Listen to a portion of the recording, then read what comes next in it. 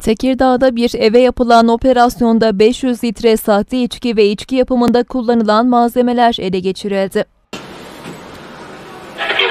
Yılbaşı öncesi Kapaklı İlçe Emniyet Müdürlüğü Asayiş Büro Amirliği ekipleri ilçede sahte içki satışına göz açtırmıyor. Atatürk Mahallesi'ndeki bir eve operasyon gerçekleştiren polis evin çatı katında toplam 500 litre sahte içki, içki yapımında kullanılan malzemeler, bir adet av tüfeği, ruhsatsız kuru sıkı silah ve silaha ait 20 adet mermi ele geçirdi. Olayla ilgili bir kişi gözaltına alındı.